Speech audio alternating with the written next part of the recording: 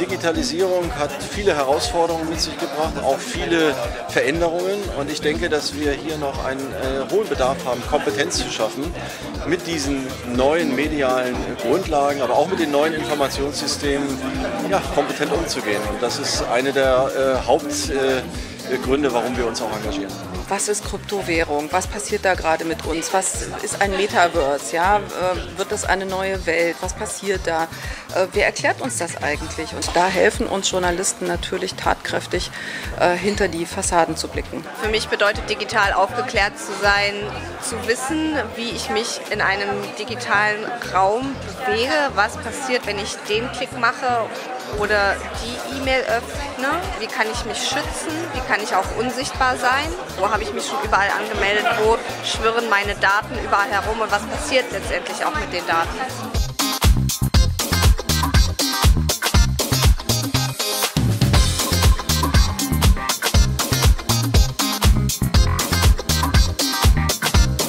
Dieser Veranstaltung immer so mit zwei Hüten. Einerseits als Stiftungsvertreterin, aber auch als ehemalige Journalistin. Und ich freue mich immer wahnsinnig, dass ich Kollegen auszeichnen kann, die an so ein bisschen sperrigen Thema auch arbeiten. Und es ist eine hohe Kunst, das so runterzubrechen, dass Menschen verstehen, worum es da geht.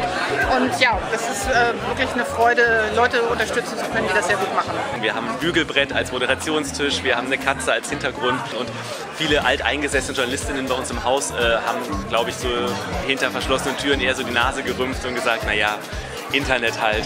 Wir machen einen seriösen Journalismus und dadurch, dass wir nun auch eine Reichweite haben und auch durch Preise wie diesen, glaube ich, gewinnt das, was wir machen und was auch viele andere in unserem Bereich machen, halt unfassbar an Relevanz. Also wir sind ein Team von vier und haben uns sehr, sehr gefreut, dass wir diese Auszeichnung bekommen haben. Und äh, innerhalb der Redaktionen bedeutet so ein Preis natürlich dann auch, dass diese Themen noch ernster genommen werden. Es muss ja nicht jeder technisch alles verstehen, aber die Auswirkungen sind wichtig, dass die vermittelt werden. Und das ist äh, unsere Aufgabe.